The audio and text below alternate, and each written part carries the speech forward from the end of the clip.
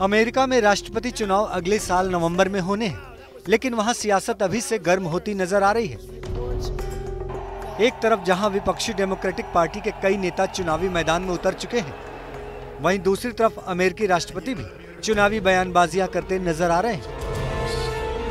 अमेरिकी राष्ट्रपति Donald Trump ने एक बार फिर आयात शुल्क को लेकर भारत सहित कई देशों पर निशाना साधा है।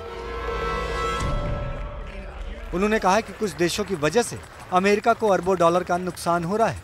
उन्होंने अमेरिकी उत्पादों पर भारत की ओर से लगाए गए बड़े शुल्क की आलोचना करते हुए कहा कि भारत ने अमेरिका के कागज़ के उत्पादों और हार्ले डेविडसन मोटरसाइकिल पर काफ़ी हाई टैक्स लगाया हुआ है और ऊँचे शुल्कों की वजह से अमेरिका को भारत, चीन और जापान जैसे देशों से अरबों डॉलर का नुकसान हो रहा है। आप किसी भी देश का नाम ले, हमें नुकसान हुआ है, लेकिन आगे हम नुकसान नहीं सहेंगे।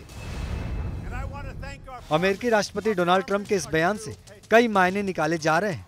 ऐसा लगता है कि डोनाल्ड ट्रंप भी चुनावी मूड में आ चुके हैं और उनका हालिया बयान इसकी गवाही भी दे रहा है। एक बार फिर से ट्रंप अपने देश के नागरिकों को लुभाने के लिए अमेरिका फ़र्स्ट की नीति अपनाते नज़र आ रहे हैं। अब देखना होगा कि 2020 में होने वाले राष्ट्रपति चुनाव में ट्रंप को अमेरिकी फ़र्स्ट की पुरानी नीति से कितना फ़ायदा होता है।